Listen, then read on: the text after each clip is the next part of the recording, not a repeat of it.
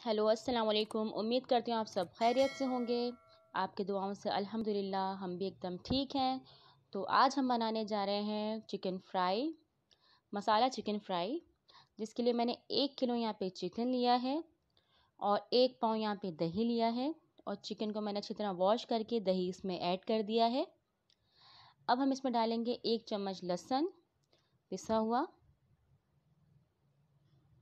और एक चम्मच अदरक का पेस्ट। लहसुन का पेस्ट, एक चम्मच अदरक का पेस्ट, ठीक है? उसके बाद यहाँ पे हम पूरा एक लेमन जो है हम इसमें अंदर निचोड़ देंगे।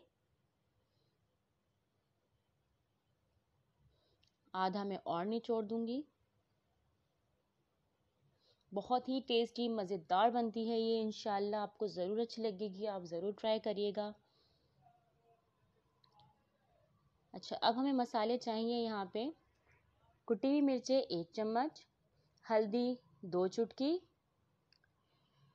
और पिसा हुआ धनिया है ये, एक चम्मच, गरम मसाला, आधा चम्मच नमक, हसब ज़रूरत, डेढ़ चम्मच पिसी हुई लाल मिर्चें।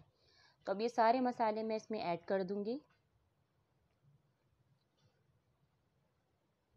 देखिए, मैंने सारे मसाले ऐड कर दिए हैं।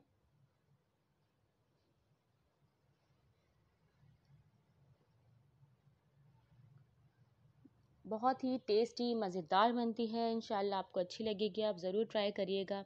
अच्छा यहाँ पे थोड़ा सा हम जो है कुकिंग ऑयल डाल रहे हैं इसके अंदर।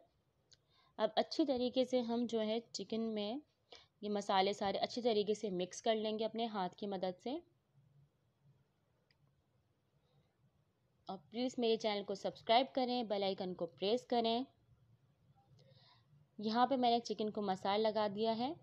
अपने एक घंटे के लिए चिकन को जो है ढककर कवर कर कर ऐसे छोड़ दूँगी। एक घंटा हो चुका हमारे चिकन को।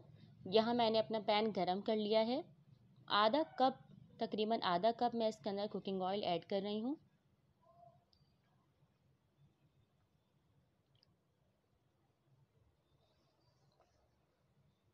और हल्की आँच रखनी है हमें।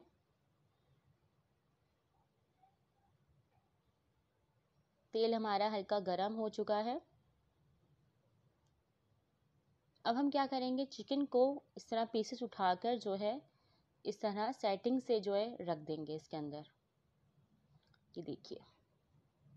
इसमें पानी बिल्कुल भी नहीं डलेगा, क्योंकि दही है लेमन है, इतने सारे मसाले हैं तो वो पानी जो छोड़ेंगे, उसी में चिकन हमारा जो है गल जाएगा। देखिए, इस तरीके से आपको चिकन इसमें रख लेना है। ये देखिए चिकन मैंने रख दिया है अच्छी तरीके से और इसको मैंने कवर कर दिया है। अब तकरीबन आधे से पौना घंटा जो है, हल्की आँच पे छोड़ दिया था और अब मैं इसको चेक कर रही हूँ। ये देखिए, पौना घंटा जो है मैंने हल्की आँच पे चिकन को छोड़ा था अपने। माशाल्लाह माशाल्लाह चिकन हमारी जो है, हम चेक कर लेते हैं, गल गई होगी अब तक तो। देखिए चिकन जो है हमारी गल चुकी है। बिल्कुल हल्की आँच पे आपको उसको दम पर इस तरह छोड़ना है कवर कर कर। पानी में गल गया, देखिए रोगन भी ऊपर आ गया है, मसाला भी एकदम परफेक्ट है, चिकन भी गल गई हमारी। माशाल्लाह माशाल्लाह, बहुत प्यारी प्यारी खुशबू आ रही है इसमें से। देखिए, अब हम क्या करेंगे कि कवर कर देंगे दोबारा से। और यहाँ पे हमने दूसरे चूल्हे पे जो है कोयला गरम कर लिया है।